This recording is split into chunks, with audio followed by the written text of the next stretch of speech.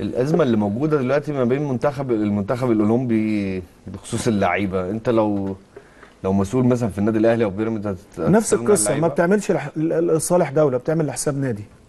ما هو ده اللي أنا بتكلم فيه. برضه أنت بتتكلم برضه ال- النادي الأهلي عايز ياخد الدوري بس بس أنا مصر يا جماعة أنا رايح ألعب باسم ما خد مصر. بالك هي مش في الأجندة على فكرة. بص أنا عارف إنها مش في الأجندة بس أنا في الأول وفي الآخر يا إبراهيم أنا بلعب باسم مصر. أنا شكلي إيه في الأولمبياد؟ آه مش إحنا بنيجي نحاسب؟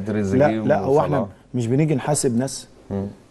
طيب انت بتحاسبني طب أنا عايز لعيبة انت بترفض تديها لي. يعني مصلحة الأندية اللي هو الدوري أهم من الأولمبياد؟ خليك أنت ما معايا برضه خد بالك ما هو النادي برضه بيفكر في ما هو كام لعيب يا إبراهيم؟ هو ياخد كام لعيب؟ ثلاث لعيبه من الأهلي أو من الزمالك أو من أي حتة. النادي الاهلي يقف على ثلاث لعيبة. لا لا؟ استنى بس. النادي الاهلي يقف على ثلاث لعيبة. يعني اللعيبة في اللي ظل الظروف. لا يعني النادي الاهلي اللعيبة اللي موجودة دي يقف على ثلاث لعيبة. خد بالك ما هو في هو ممكن لعيبة. يكون هو ممكن يكون واحد بس اللي اللي مهم قوي قوي قوي الشناوي. لأن إحنا عرفنا إن آه، طبعا هيبقى في حمزة علاء تقريبا وهيبقى في الشناوي فأنت ممكن يبقى غير مصطفى شوبير. دي- دي مشكلة. آه أنا معاك أهو عشان أبقى صريح. لكن معقولة الباقي يا إبراهيم؟ لا يا إبراهيم. النادي الاهلي فيه 25 لعيب أو أكتر ونادي الزمالك فيه 25 أو أكتر. وأنا على فكرة قلت كده برضه على الزمالك مش آه، انت ما بتتكلمش في كام ما بتتكلمش في 6 7 لعيبة. انت بتتكلم سيبك الشناوي قول اثنين لعيبة على الأقل ياخد اثنين لعيبة. إيه؟ تتوقع لا يقف, الأزمة لا يقف على؟ اثنين لا يقف على اثنين لعيبة؟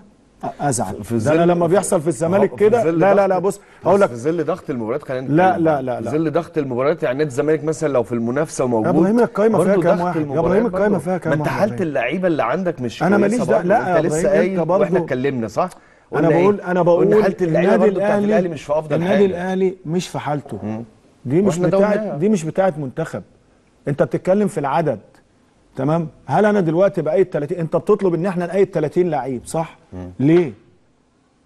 عشان يبقى عندك لعيبة وعندك squad وبعدين معلش أي حد بيلبس تيشيرت النادي الأهلي أو أي حد يلبس تيشيرت نادي الزمالك فهو من ضمن المنظومة ما ينفعش تقول عليه لعيب لا يصلح لأنك لو قلت لا يصلح ده عيبك أنت صح. سواء أهلي أو زمالك صح؟ يبقى أنت النهارده أي لعيب يلعب.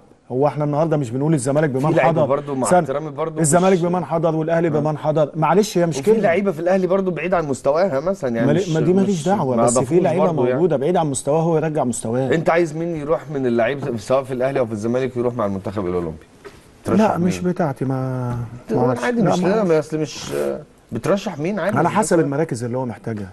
أنت يعني يعني لزياده قوة المنتخب الأولمبي مين ترشحه بص يعني أنا جيت في وقت على فكرة من حوالي كام سنة كان بيسألوني أول واحد اتكلمت عليه كان الونش وساعتها راح. ما هي بص بتتحسب انت- بص كان كلام عادي. إيه؟ حسب العمود الفقري بتاع الفرقة اللي هو مساك مين اللي يتقل المنتخب الأولمبي؟ راس حربة.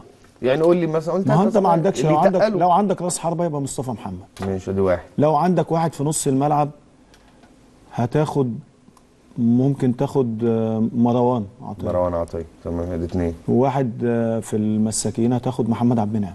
محمد عبد المنعم. ادي ثلاثة عمود. واحد يقول صح. لك محمد صلاح ممكن تاخد برضه محمد صلاح. قيمة كبيرة جدا عشان ما حدش غالبا مش هيبقى صعب شوية. وتريزيجيه برضو اعتذر. ما أنا بقول لك أنا بتكلم كمان على عمود يعني إيه؟ أنت عارف زمان كان يقول لك إيه؟ ليبرو نص ملعب صح. هم دول العمود العمود الفقري بتاع الفرقة.